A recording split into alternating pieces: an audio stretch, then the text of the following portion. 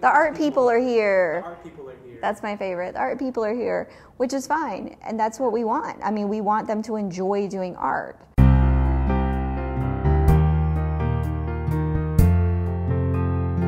As the program coordinator for the Arts Empowerment Project, I develop the curriculum that we implement at the YWCA, the different art projects that we bring, and try to really mesh it with Miss Wanda's curriculum. So they have a reading curriculum that they do, and we try to bring art projects here that go along with some of the things they're working on, um, and also projects that are able to reach the broad range of students that go here. How to do it.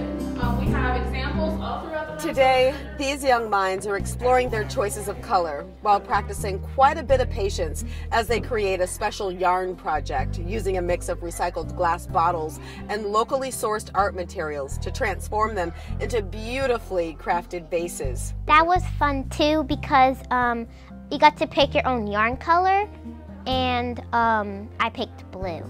This is Zanai and her sister Solani. They have participated in every FAF at the YWCA for the past four years. Their connection to the arts has made them stronger and noticeably more creative with their craft.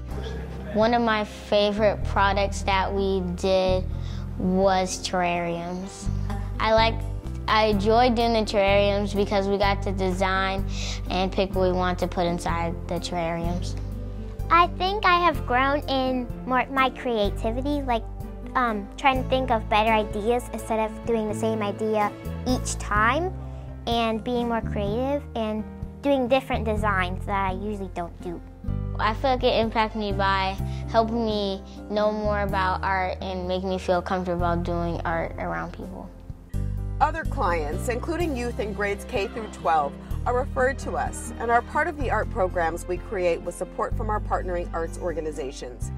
Collaborative by design, the Arts Empowerment Project believes in the transformative power of art to inspire children, some of whom are court involved and others who would not otherwise have access to high quality arts and cultural experiences.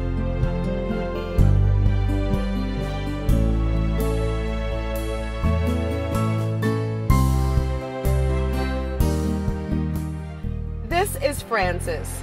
Frances is a returning student to the annual CPCC Culinary Camp for four years. She is passionate and driven to learn from one of the best programs in the city.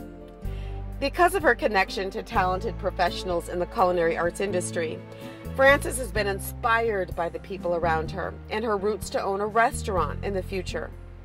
Um, well, I definitely see myself hopefully coming to CPCC for my two years, then transferring to Johnson and Wales.